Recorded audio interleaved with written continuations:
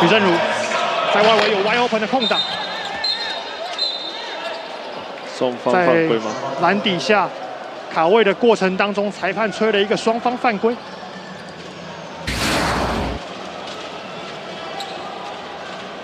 哦呦，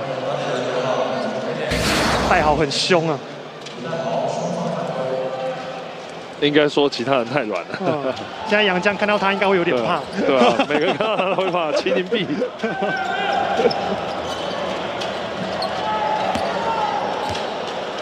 其实。